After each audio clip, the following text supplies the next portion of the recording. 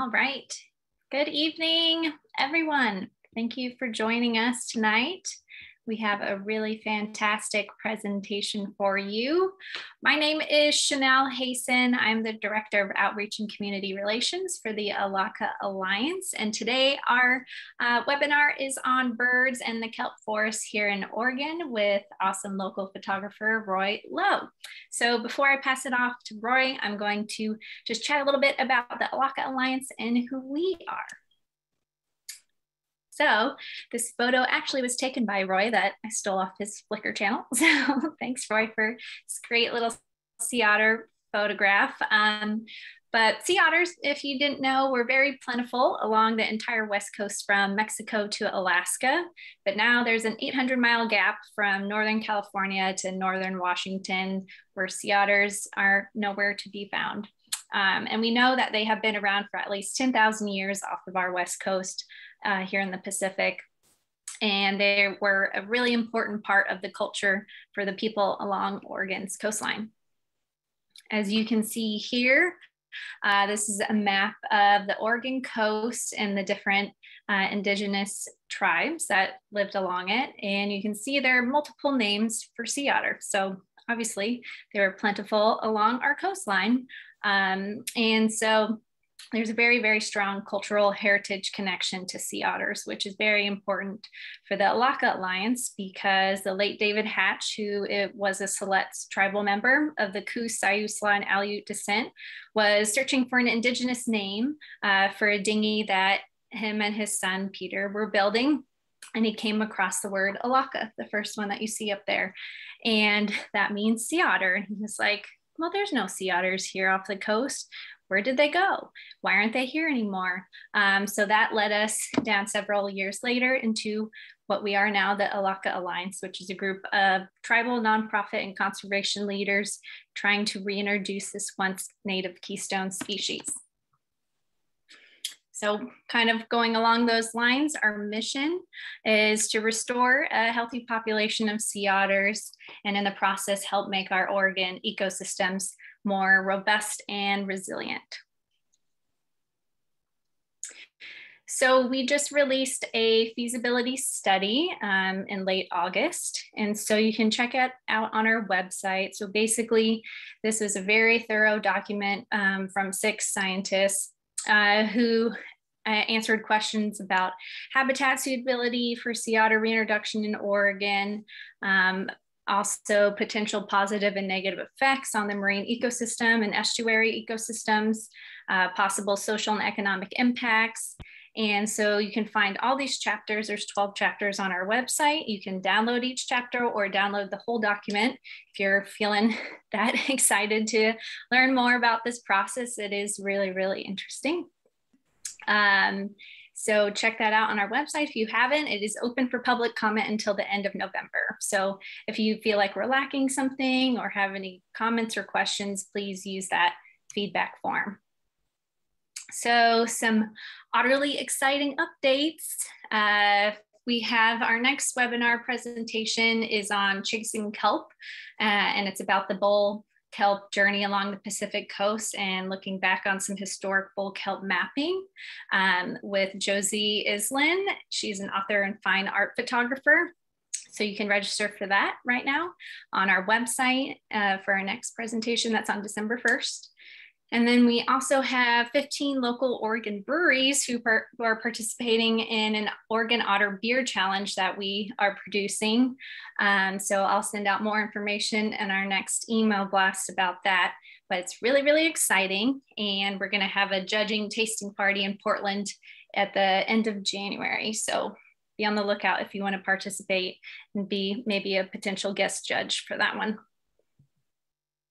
And if you haven't already, please check out all our social channels Twitter, Facebook, Instagram, YouTube. Um, and if you haven't signed up for our newsletter, it goes out once a month by yours truly. So uh, you can sign up easily via our website. And now, going to introduce our guest speaker tonight, Roy Lowe. He's a resident of Waldport, Oregon, a photographer and former board member of the Elakha Alliance. Thanks, Roy. And he was employed with the U.S. Fish and Wildlife Service for more than 37 years and was the project leader for the Oregon Coast National Wildlife Refuge Complex upon his retirement in 2015. So we're really excited to learn more about birds and kelp from you.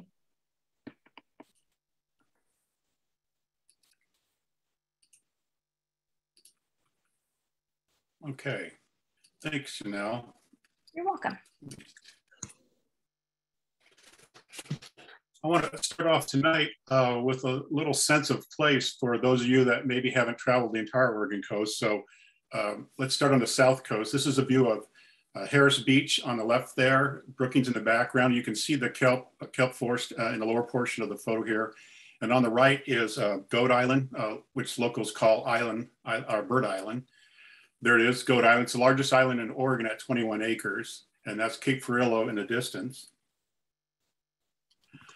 Moving up the coastline, this is Crook Point, and you can see uh, the, the, kelp areas along the, the headlands here and along the reef system. There's a, a, overview, overview looking down on Crook Point, and you can see the, the kelp the kelp forest there with Crook Point, and in the background is Cape Sebastian. This is what it looks like on the, on the water at uh, Crook Point, a really, really nice kelp beds in there. This is the Rogue River Reef, and you can see the, the dark color of the kelp, kelp forest there extending across the reef. And the next photo is kind of a close-up here of Pyramid Rock. uh, this rock uh, produces about 500 Steller sea lion pups a year, so it's the largest pupping area in US waters uh, south of Alaska. And you can see the extensive kelp forest there near, near the rock. This is the south side of Humbug Mountain. There's some really beautiful kelp uh, beds along the south side. And if you look at this really smooth water in here, this is all dense kelp forest uh, through here, uh, knocking down the wavelets and making it much smoother there. that's what it looks like uh, on the on the water on a different day, of course. And really, really amazing kelp bed. I'd love to go diving under this. That's looking south towards uh, Humbug Mountain, and you can see the the kelp beds on the on the water here. And if you go to the right or to the west, uh, you're at the, Redfish Rocks uh, Marine Reserve, and you can see some of the the kelp here. Uh, the, in the foreground here is uh, Orford Reef. In the background, you can see Port, uh, or the Ora Blanco, Cape Blanco, and the Blanco Reef is up in this area. Both support uh, kelp forests. And then in many places along uh, the coastline, the kelp is really specific to rocky areas. This is Cat and Kitten rocks at um, Bandon and you can see the kelp surrounding it. The, the flat top rocks are kind of covered black and white, and those are thousands upon thousands of common murres breeding there. Uh, Cape Arago in the foreground here. Uh, Simpson Reef, you can start to see all the kelp forest here. Uh, Gregory Point, Chiefs Island, and the mouth of Coos Bay over here. And that's a little bit better look at the kelp uh, forest surrounding uh, the, the Simpson Reef here. And I've been fortunate to see one live sea otter in Oregon in 1993. Uh, there was a sea otter hanging out in this area and undoubtedly a, a wandering animal from Washington state. Uh, this is uh, Gregory Point and Chiefs Island. And again, the flat top rocks are seabird nesting colonies and you can see the, the kelp on both sides of the, uh, the, the point here. On the north coast, this is uh, Cape Foulweather, and note the whitewashed cliffs. This is one of the largest pelagic cormorant nesting colonies in the state. We've had up to 475 nests at this one site. This is a little more vertical view, and you can see the, the kelp bed that's right offshore from, uh, from the headland here. Cape Lookout, further north, nice uh, kelp beds uh, along the south face uh, towards land there. Three Arch Rocks National Wildlife Refuge near Cape Meares. You can see the, the marine algae uh, out here, the dark color. And then um, all the way up at Ecola Point and Sea Lion Rock, again, uh, kelp beds uh, near the rocky areas here. So tonight I'm going to talk about uh, birds that utilize kelp forest. And uh, some of our birds, like common murres you see here, are strictly coastal or marine. They're in the saltwater all the time. Other birds come here for the winter and spend the winter in the coast uh, on the saltwater and breed inland and freshwater during other times of the year. And some migrate from the Arctic all the way to, the, to South America and uh, use a variety of coastal, estuarine, and freshwater wetlands. So we don't have any kelp specific birds like spotted owls and ancient forests. but we have birds that utilize a variety of habitats and all these habitats are important uh, for them to sustain themselves through the year. And so they use these different habitats in space and time and kelp forests are one of those habitats that can provide uh, really good resources to them when in really needy times. So one of the species you you would see if you spent time looking at kelp forests are pelagic cormorants. And most people think they're black birds, but when you get them in the right light, their iridescence is just beautiful. Um, when John James Audubon made it to the West Coast, he saw these birds and he called them violet green cormorants, which I think is a much better name than uh, pelagic cormorant. Uh, now this is a kelp forest uh, up near uh, Depoe Bay, uh, Otter Rock. And one of the things on the central coast here, north coast, is it's tough to get photos of birds and kelp at any close range because the kelp forest is far enough offshore that it doesn't make for great photography. But I want you to look at this area right here. And the next photo shows this bird. And if you're a really good birder, you know that's a cormorant. I know it's, it's kind of hard to tell, but that's a pelagic cormorant. And I watched this bird and it dove a couple times in this open area. And I thought, okay, now it's going to move outside and move along. And it continued to dive and dive and dive and dive in the same location. So apparently it was finding a fish or crabs uh, that's liking here. And so it must have been a, a good foraging spot because it did not go elsewhere. It stayed here as long as I, I watched it. And here's uh, another area, and we have both pelagic and Brandt's cormorants foraging among the uh, kelp forest here. And of course, you know, kelp forests harbor all kinds of different species of fish, and particularly juvenile fish, which uh, these birds can, can target. And pelagic cormorants, like all cormorants, they regurgitate directly into the mouths of the young, so we can't really tell what they're feeding their young. It's transferred out of our sight. But if you watch uh, cormorants like pelagic cormorants close enough, you can get an idea on what they're they're foraging on. They're pretty opportunistic. This one uh, a small cabezon. and of course they turn it head first and immediately try to swallow it. And they got to be quick because if a gull sees them, they're attacked and they got to battle for their the fish they caught. Uh, here's a, a, staghorn sculpin trying to do its best to prevent being swallowed, but it almost never works. The, the birds are pretty good at handling them. And they do feed on a variety of crabs, and this happens to be a, a Dungeness crab. And the only way they can eat these things is that they have to remove all the legs first, and then they swallow the body whole. and if you look closely here, this is the crab body going down. So a big gulp.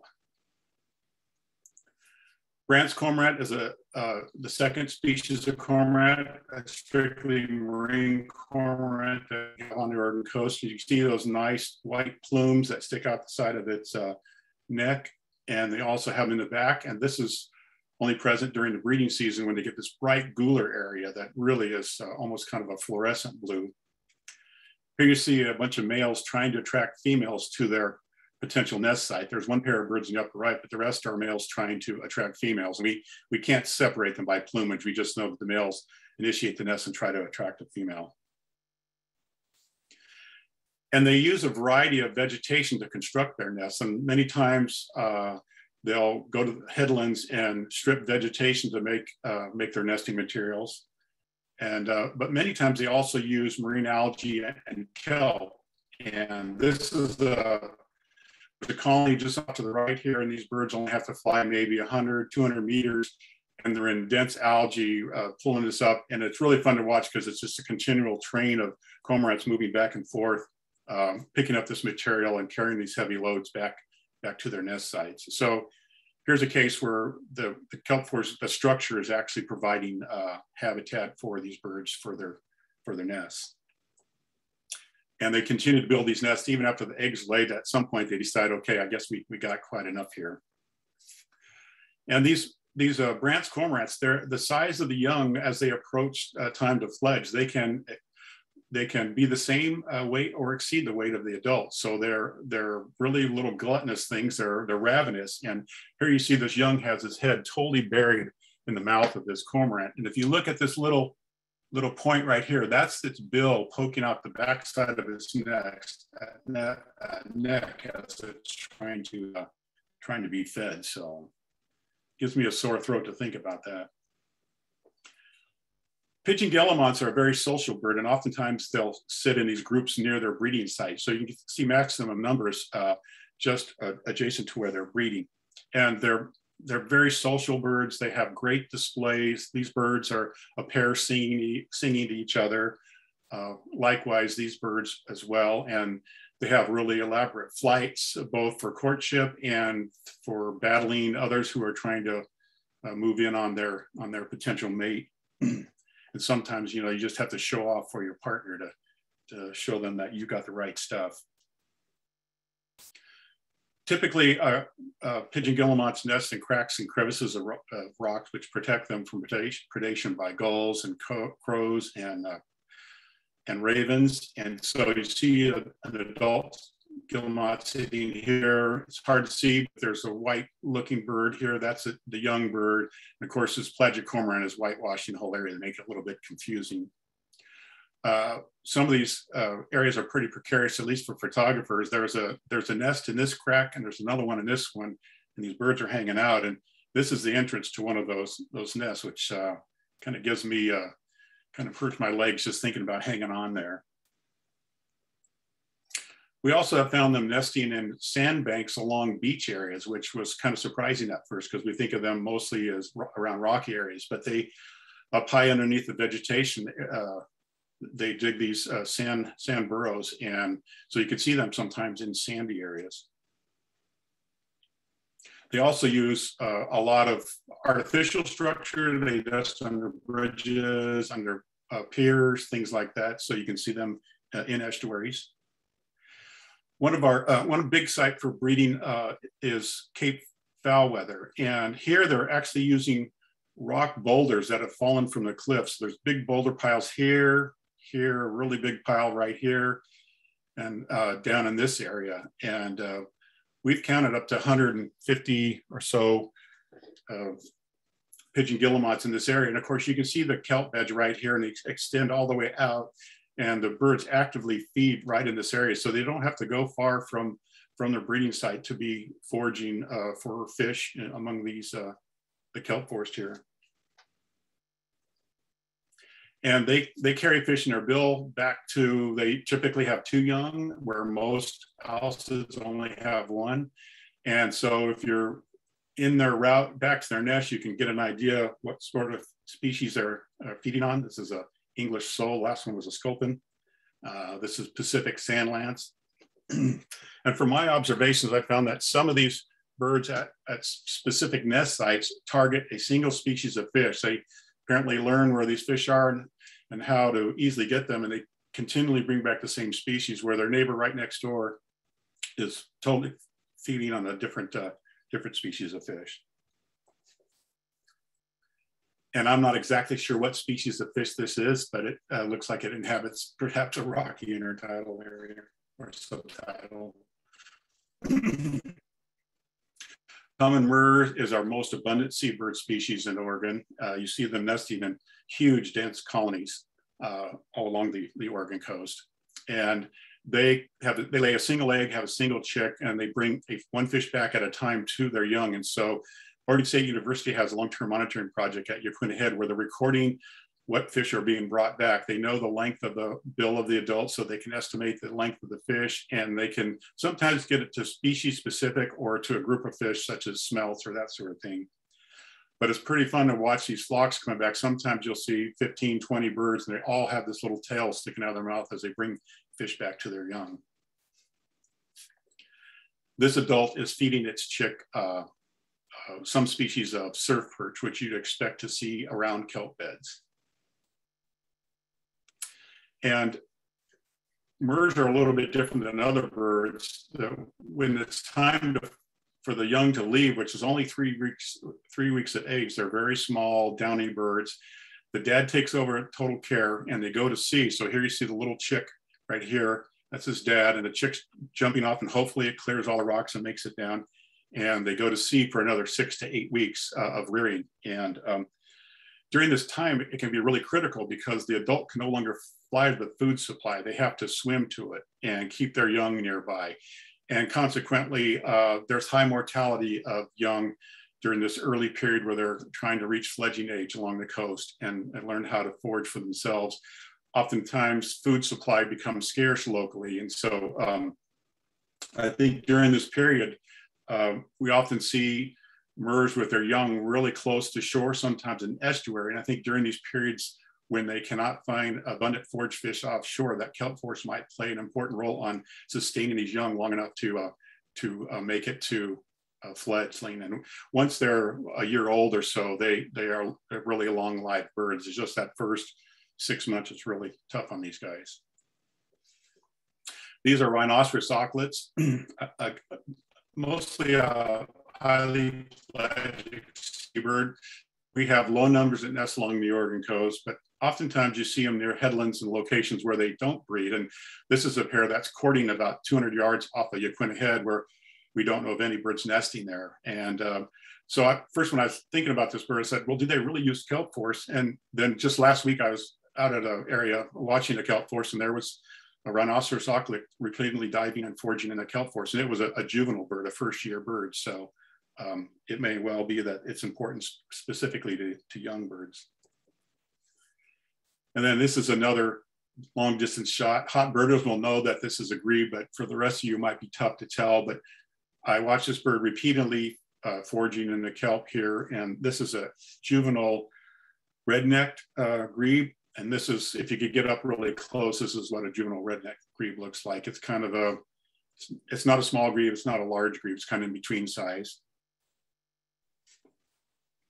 And we also see um, horn grebes foraging uh, in kelp forests. And this is uh, what a win winter plumage bird looks like. And then they leave the Oregon coast and head inland to breed in freshwater. They have, this is one of the grebes that has really spectacular plumage when they, uh, when they depart the area. And this is, this is what they look like in their breeding plumage. So looks like a totally different bird um, when they're in breeding plumage.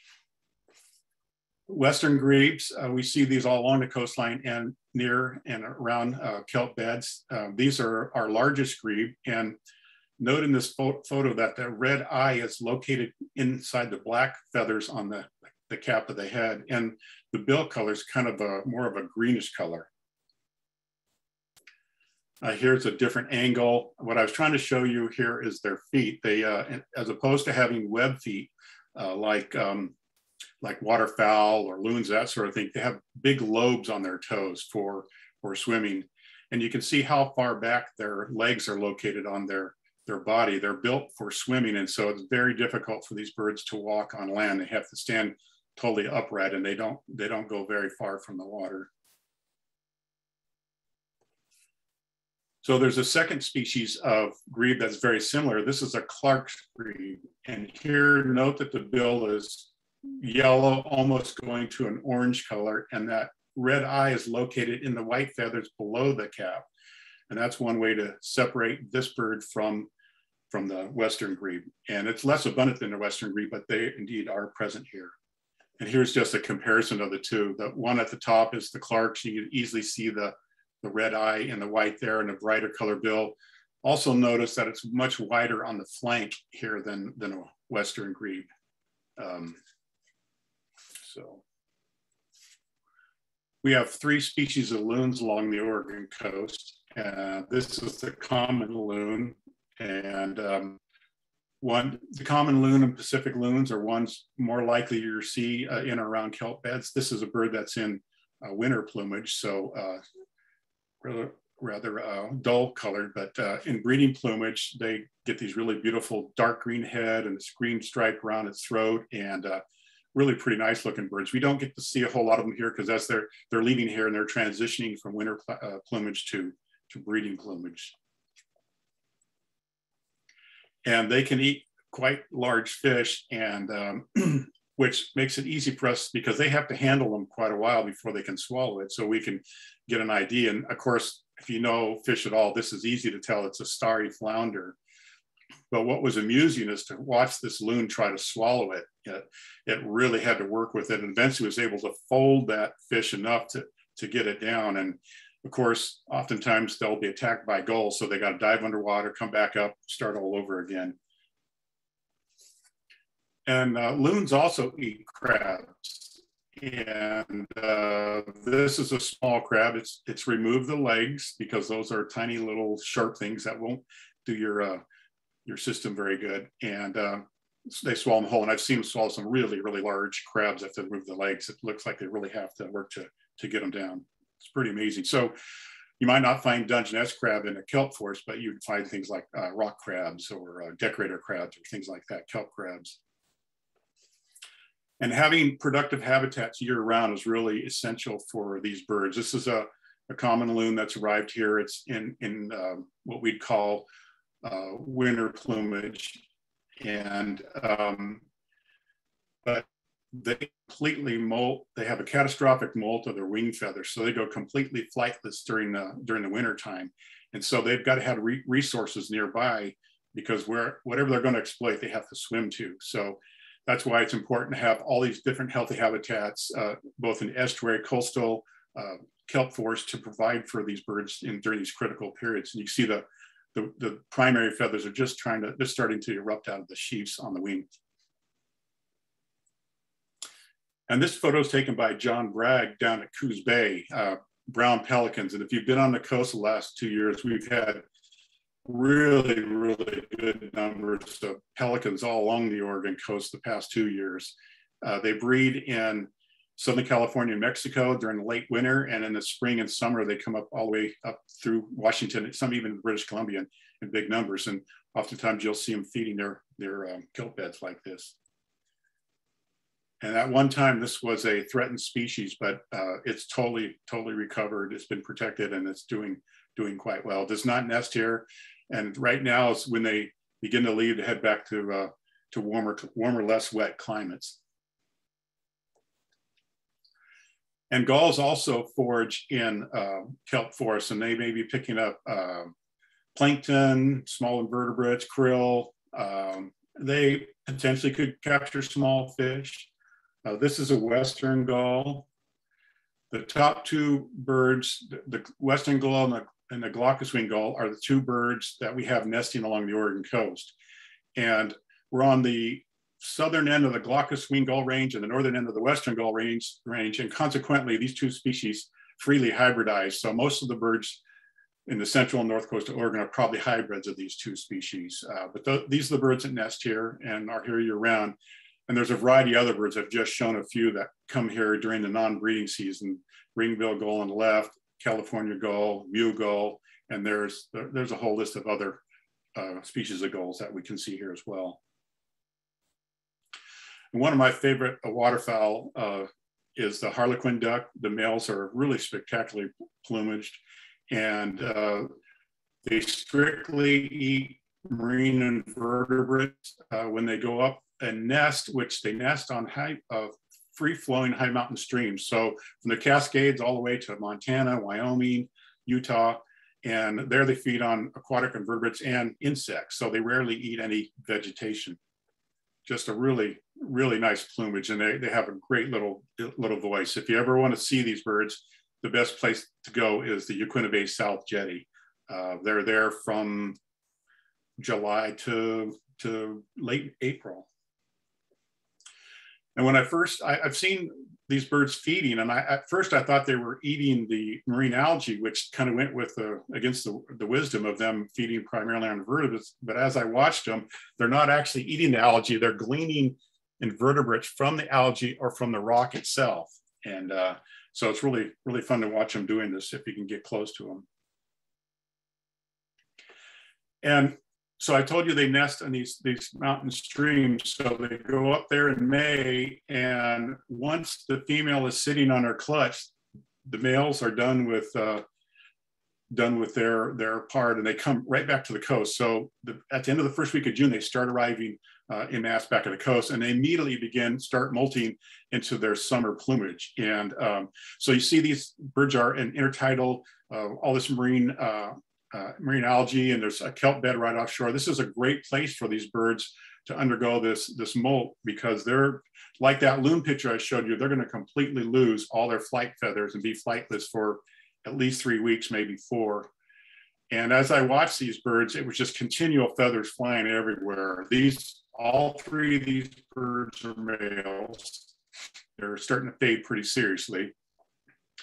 And here, here again, all three males, you can see they look pretty darn ratty. This is in peak molting time where they're getting rid of their, their breeding plumage and going to um, their summer plumage. And so really high energy requirements. They need they need great habitat nearby. They can't fly, so it's got to be close by. And so areas like this, adjacent to kelp beds, are just perfect for for this species. And this is this is the uh, at Otter Rock there, where the Marine Garden is, and uh, Marine Reserve just offshore.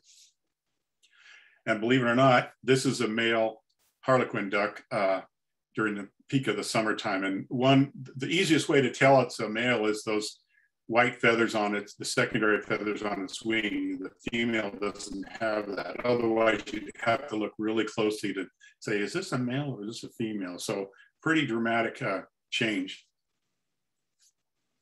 This is another photo that uh, John Bragg shot, and it shows a great egret uh, walking on the kelp forest and foraging. This is a rather unique, unique photo. I, I was shocked when I saw it, and uh, I think this was taken near Yoakam Point inside of Coos Bay. It's very flat, calm, and very dense. I, I have not seen great egrets foraging on the outer coastline. I see them flying up and down the coastline. They forage in estuaries, behind the dunes and freshwater, but I've never seen them actually foraging right on the on the beach area. But um, this is a nice dense uh, uh, kelp forest here. But we do have great blue herons all along the coast uh, exploiting uh, rocky intertidal areas, areas adjacent to kelp beds. Um, I recently photographed two great blue herons fighting over the rights to forage for fish in this, uh, this one intertidal area. So that's the species that you'll see nearby in these productive habitats.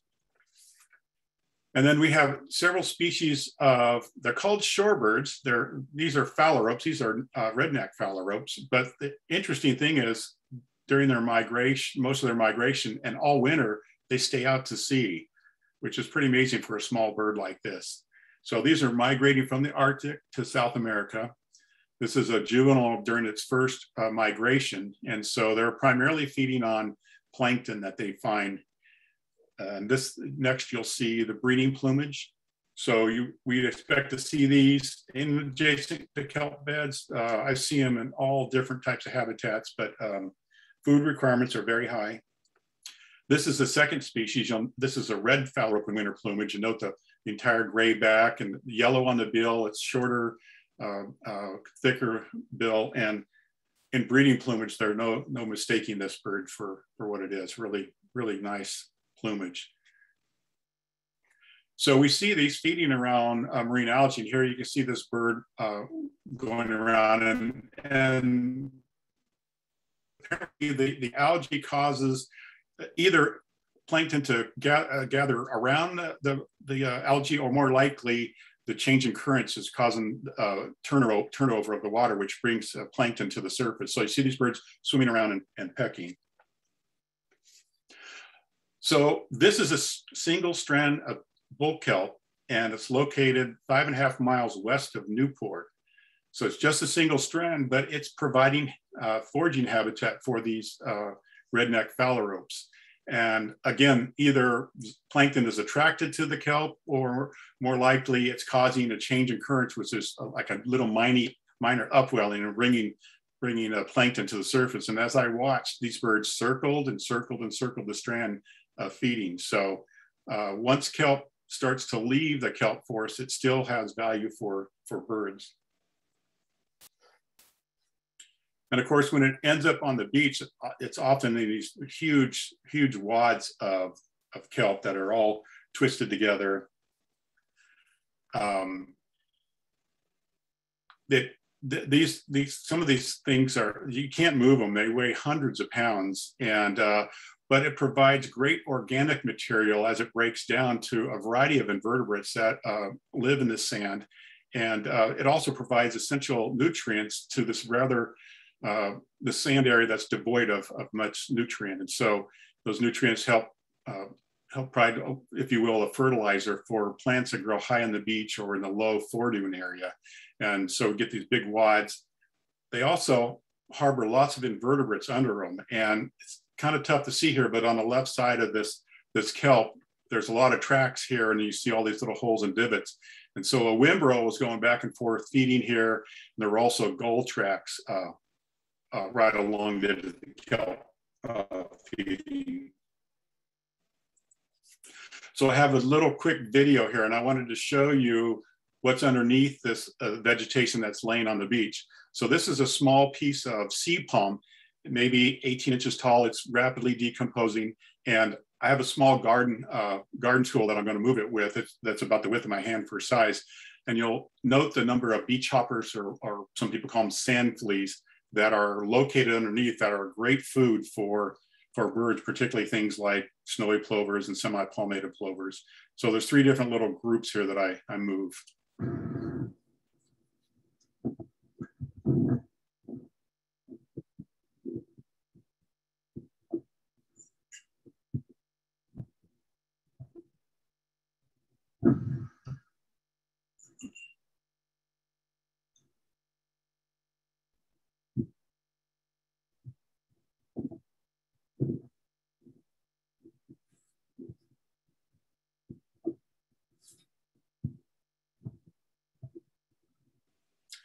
So you can imagine what's underneath those those two or three or 400 pound wads of, of uh, kelp. And, uh, and these amphipods are fed on, fed, fed on by a number of birds. And when you get into wetter areas, uh, then you get other species of invertebrates, bloodworms and different things that, oops, sorry, other birds are feeding on. This is a really old decaying uh, bit of kelp, and these are um, short-billed dowitchers that I watched them actively feeding, moving all around this little, little piece of uh, vegetation. And at some point, they all panicked and the rest flew away. And I, it must have been a close approach of a raptor that spooked them. But these two came back and they fed all around it. They climbed on top of it. They feed around it. And it was almost like kids in a candy shop. They would walk away maybe a foot or two, and then they'd run back and start feeding again. And did that over and over again until I kind of got bored and moved along. But uh, they're really attracted to the invertebrates that were uh, in and around this decaying kelp. And this is a western sandpiper uh, feeding around the vegetation. Really, any shorebird you see along the beach, you see them doing this. Uh, Dunlin, sanderlings, uh, least sandpipers uh, they're really attracted to this material on the beach because it harbors really good food supply uh, for, for them. And uh, in some cases, it provides uh, camouflage. And this is a snowy plover, and uh, they spend their almost their entire lives on the beach. And obviously, they're vulnerable to predation by uh, peregrine falcons or merlins. And so they often find uh, something to hide by while they're sleeping or resting. And this case, uh, it's uh, bull kelp. And other cases could be shells or, or other vegetation, but um, it's really important for them to stay, stay hidden because there are these predators hunting the beaches uh, every day. And uh, again, this is another snowy plover uh, located behind bull kelp. Um, I'm not sure, but I think its other eye might be closed. And if so, this bird is practicing unihemispheric slow wave sleep, which is they can shut one eye and totally turn that side of the brain off and keep the other eye open and aware and uh, looking for, for trouble. So, but that's a story for, for another day.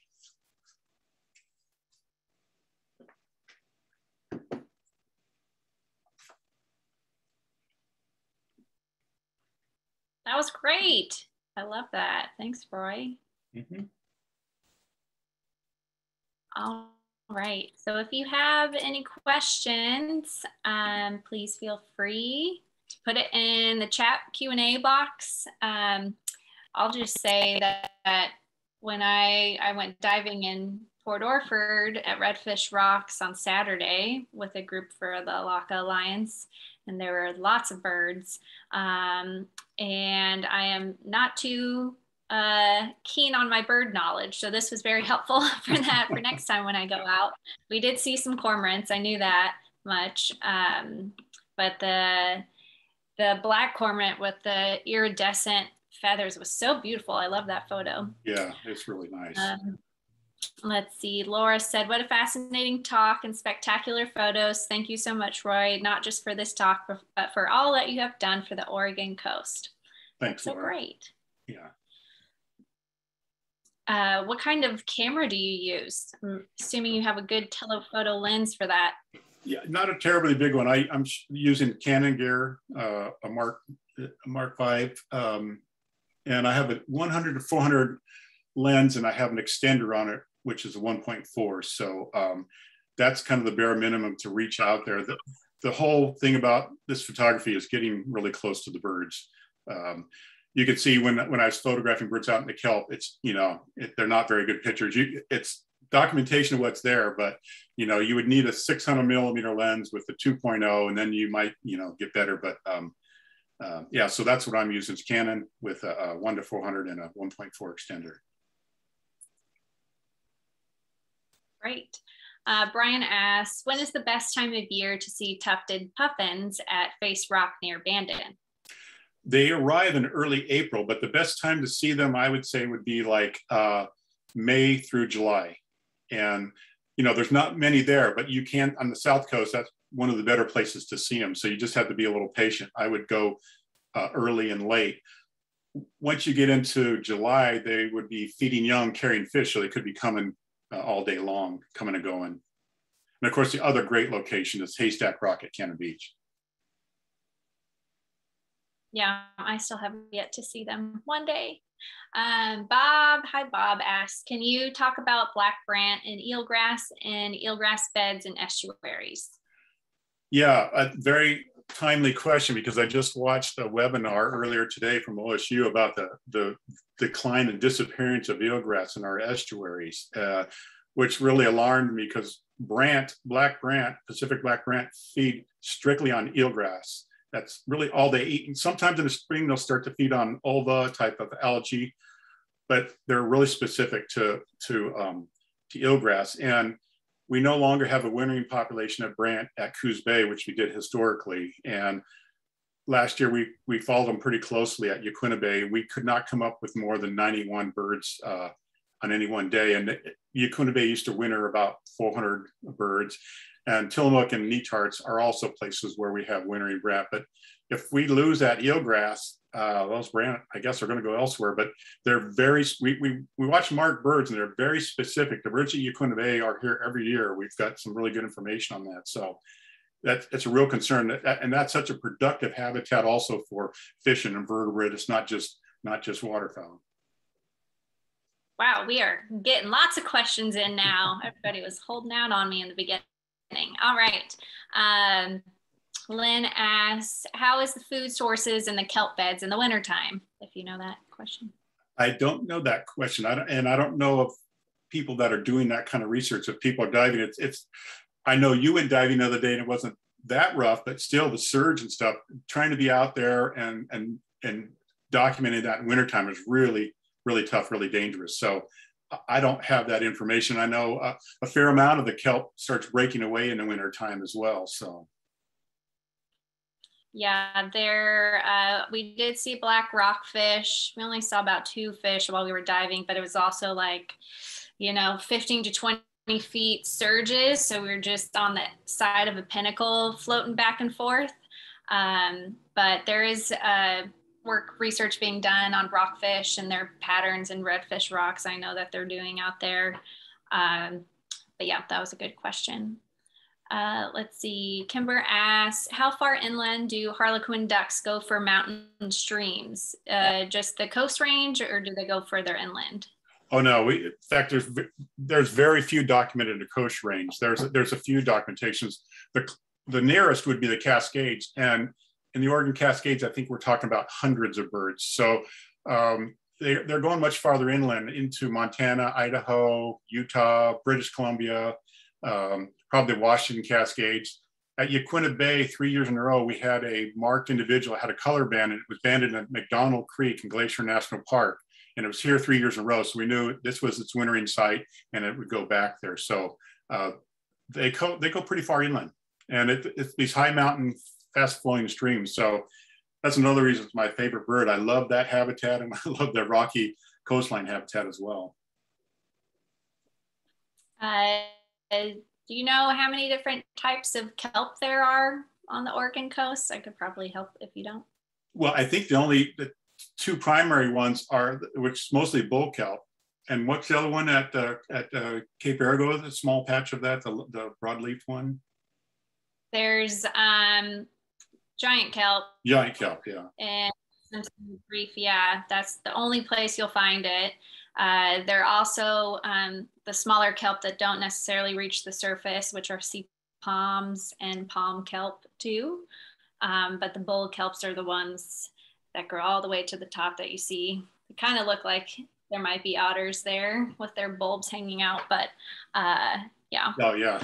that's what's I know. I'm like, oh, I wish that was an otter. I keep uh, looking at some of those sites where I showed those dense eelgrass. I mean, not eelgrass, but uh, kelp beds. You could just envision an otter laying on its back with its with its pup. I know.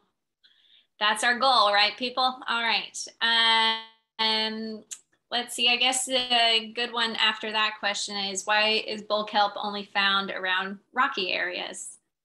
Well, it, it, has a, attached to a hard substrate. So um, it can attach to sand. And it, I mean, because it's undergoing a lot of stress because it can be 100 feet tall and it's, you know, flown in the wave. So it has to be anchored really good. So it anchors to the hard surface of rocks and you, you don't have that in sand. So. Yes, correct. Gold star on that answer.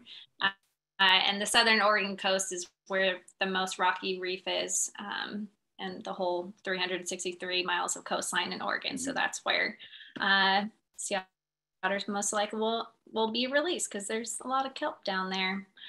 Uh, let's see. Um, so Claire asked, presumably with the return of sea otters and kelp forests elsewhere, uh, there will be increases in some of these birds' populations or any predictions in that sense? I don't have any predictions other than to say that, uh, you know, having more of habitat that's productive with fish populations is going to benefit these species. And how you would how you'd measure that would be really difficult because these birds exploit so many different environments. But it, it really might be the difference of whether a young bird survives its first uh, first summer first fall and that sort of thing. So uh, we know when we produce more quality habitats it's good for good for all fish and wildlife, but that'd be a tough one to measure. Mm-hmm. Um, Diane thought it was fascinating about how uh, the loons and the PECOs, um, I don't know what that stands for, but sure um, how they eat there you go, cormorant. uh, ate the crabs by removing the crab legs. That was fascinating. I, I know the I first time I saw that, I went, "Oh my gosh!" Well, it makes sense because uh, you know those those feet are going to do severe damage, and you wouldn't be yeah. able to swallow that. But it's pretty amazing to see because the loons I saw swallowing some really big crabs, and it's like stretching as hard as they could to get it down. And I just don't know how that whole works, how they can dissolve those things and it's really amazing. Yeah, I know. I was thinking about that when you showed, you could see the crab in the neck of the bird. And I was like, man, they must have some good digestive juices to break down that shell. Yeah. Uh, let's see. Uh, Barbara asked, will Coos County ever get another chance to designate an MPA or MRA so that we can fill the only gap in marine reserves and marine protected areas along the entire coast of our state? Well, I can't answer that question, but I think it would be a really good. I think it would be a really good thing to do. I, I you know, I'm I'm glad we made the headway that we did with the marine reserves, but we really need we really need more and larger ones to to really have a good system. So I, I would support that, but that's nothing in my purview. That would be a whole state process. Yeah, that would be wonderful, but it would take probably a very long time. Um, uh, are kelp beds important for marbled murrelets? That's a good question. I I don't have any personal observation of them, but I could I could very well see them there because during the during the um, breeding season, they're really near shore. They're basically on, on the backside of waves, so they don't extend far out to sea. Later in the winter, they do you do find them farther offshore. So I could I could definitely see where they would be, uh, but I have I have not I have not seen that myself. That'd be a good question for someone like Kim at uh, um, Kim Nelson. Let's see if you know the answer to this. What would otters feed on if they were reintroduced on the Oregon coastline? Uh, probably what they feed on elsewhere is things like urchins, which destroy kelp beds, uh, other other species of crabs, um, clams. Uh, you know, they're basically invertebrate feeders. They feed on some fish, but it's mostly marine invertebrates. So, um, and most people may not know we've had these huge expansion of these of these um, urchin beds that have been really really devastating to other organisms and uh, california's seen it northern california and that basically was a result of losing sea stars which was the last remaining real predator of urchins and so um, getting otters back would be a great start on trying to knock back um, urchins um, perfect yes lots of invertebrates uh, Laura asks, have you seen, is it eider or eater? Eider. Any way? Uh, that's an extremely rare bird in Oregon. So one bird shows up maybe every two or three years. So it's not a, they, they pretty much stay up north. So it takes a lot of effort for one to end up down here. Eiders pretty much stay circumpolar.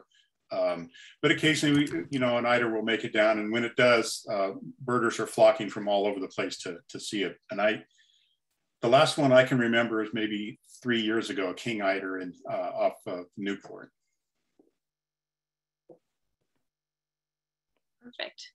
Well, I think that was all the questions. Um, you have lots of affirmations in the chat and thank Thanks. yous for all your knowledge and sharing your stunning photographs. Thank I you. definitely learned a lot. I think we all did too today. and now we're going to be, you know, have a nice keen eye next time we're on the coast to look at these birds. Yes. Remember what you said. uh, okay, perfect. Well, Great. we've got a couple minutes to spare. So um, thanks again for joining us tonight. Yes. And don't forget to join us for our next webinar on December 1st.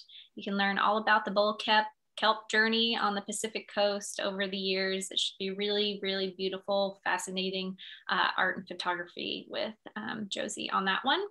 And yeah, with that, anything you'd like to say, Roy, to close things out? Oh, just appreciate people spending uh, the evening with us and uh, I hope they'll get out to see some of these birds because it's it's really fun. It's really fantastic and and um, always great to see them in person. Perfect. All right. Thanks, everyone. Have a great evening.